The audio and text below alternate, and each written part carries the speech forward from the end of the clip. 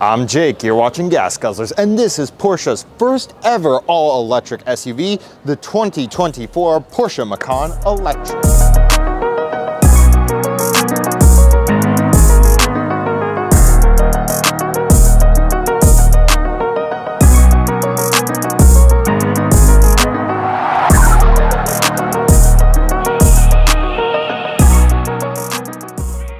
Let's talk about the exterior of the Macan. Of course, you can get your Porsche dynamic lighting system, but what I really want to talk about is aerodynamics. You have a fully sealed underbody, and all of the aerodynamic touches on the Macan Electric mean that it has a drag coefficient of just 0.25. For reference, you have a drag coefficient of 1. The Macan EV is much more fuel efficient than you are. Something else that's kind of interesting about this is it doesn't look terrible. Lots of cars that are fully optimized for aerodynamics look terrible. And I'm not thinking of anyone in particular uh, other than the EQS and all Mercedes electric vehicles. Now, we do have a frunk here. Those of you who know me know I love frunks in an EV. That's why I'm so excited.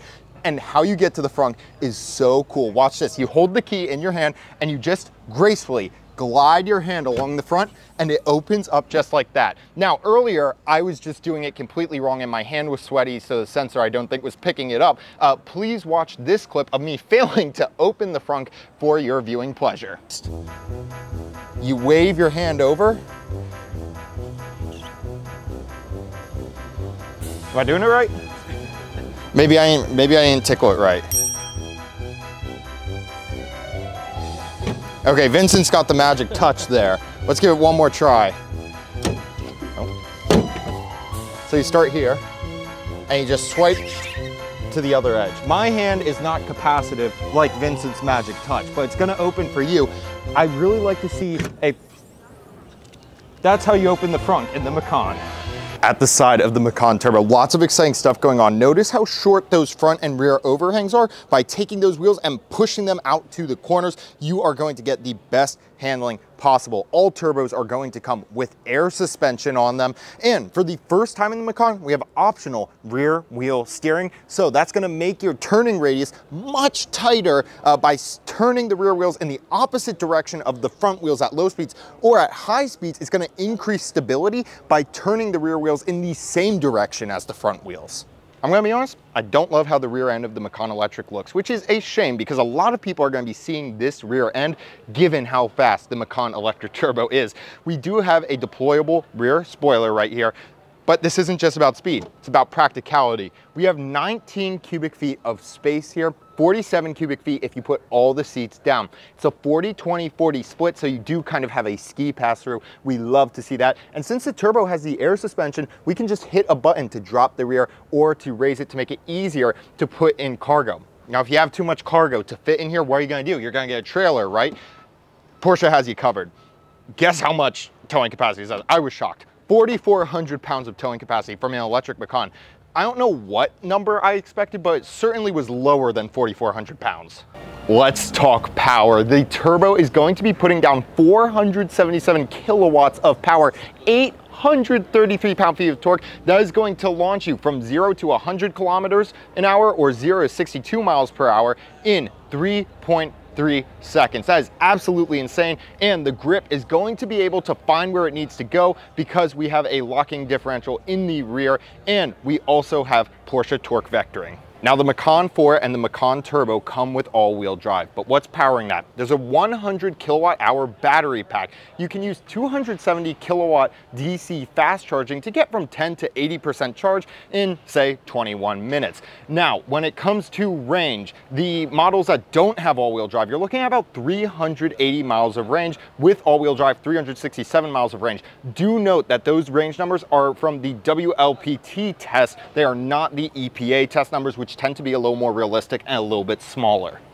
Now on the interior of the Macan, we are sitting lower in this electrified model than the previous Macan, about an inch lower. Uh, you do feel like you're high up, and this is a pretty squished windshield. Feels pretty sporty. Visibility, of course, tends to be compromised with that. The bolstering on these seats really is incredible. I mean, you could throw this thing around. You really do feel like you can do that with confidence. You have a 12.6 inch curved display right here for your digital gauge cluster. And then I, as a passenger, have a screen in front of me in addition to the regular infotainment screen right here. There is ambient lighting throughout here. You can choose all sorts of colors and whatnot. But what I find particularly cool is how the ambient lighting is not just used as decoration, but rather it's used to communicate information from the car to you, such as information about charging status or about driver assistance features in use check this out. We do have different drive modes. And this is what I was talking about with the ambient lighting. When I change drive modes, you'll see it does a little dance. How cool is that? So in Sport Plus,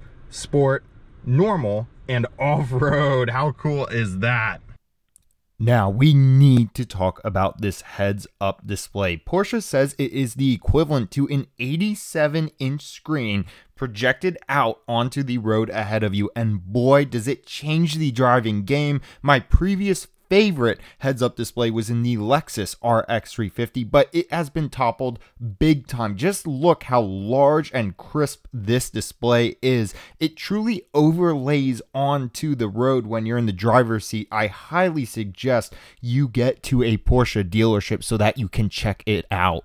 The heads up display truly ties everything together. As you can see here, we have the sport chrono functions running here on the track, but it also has many more real world applications, right? You can project navigation turn by turn directions onto the road ahead of you. You can see the distance indicator between you and the car in front of you when using the semi autonomous driving features. There is just so much to this heads up display. It truly is class leading. Now, in the rear of the Macan, you have plenty of legroom. The ambient lighting continues back here. It's extremely tasteful. In the center, we do have pull-out cubbies. We have our air vents here tri-zone climate control standard, you can upgrade to quad zone climate control so every single person gets their own climate control. You have plenty of bolstering back here and then you have individual controls for the climate right back here and heated outboard seats. Our digital gauge cluster is split into thirds and it's controlled using this system right here. So you can see on the left, we have some of our vehicle information. We can get a traditional speedometer, G-forces, tire pressures, and battery charge. If we move over to the right, this is probably my favorite part. We can bring up a map. So there's our driver assistance features. If I scroll one more, there is a map so we don't have to take our eyes off the road. Let's go up to the speed. And then again, to our right is some of our timers and our phone information. So there you can see we can get our sport chrono clock up, our radio, some of our battery information and our phone information there. And we do have our classic Porsche clock right there. Here's a quick look at your Porsche infotainment system. As you can see, we have our maps and we can go here to our full app store. Let's check out the car and see what we can see.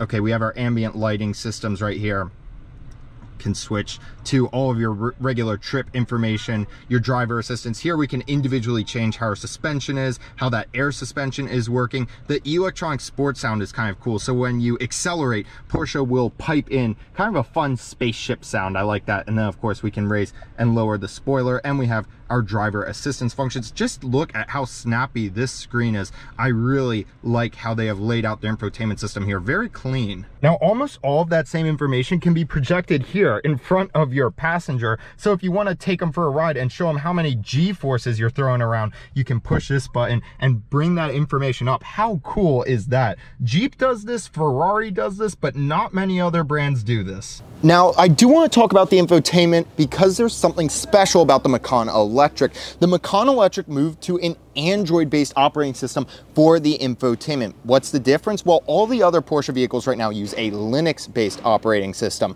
Moving to the Android system means that there are going to be apps that you can download to your Porsche. Uh, for example, there's a web browser you can download and then watch Netflix on. And hopefully in the future, there will be a Netflix app that you can download to this. Now, you can also connect Bluetooth devices to the car. So in theory, you could connect an Xbox controller, hook up Xbox cloud gaming or something like that and game on your Porsche Macan. Can the Porsche Macan run Doom? Well, yes, it can. It has an upgrade computer cluster and processor in here. This thing has a lot of computing power. So that is the electric Macan. I came into this a bit of a skeptic, worried Porsche was just jumping on the EV SUV craze. I can pretty confidently say that the Macan was deserving of an EV platform. It was deserving of this attention and it is good for Porsche to be moving in this direction with the Macan. I think this is gonna be wicked fast. I'm looking forward to driving one later this year, so make sure you like and subscribe. Guys, thanks so much for watching. I'm Jake, you're watching Gas Guzzlers, and this is the 2024 Porsche Macan Turbo Electric. We'll see you in next week's video. Take care.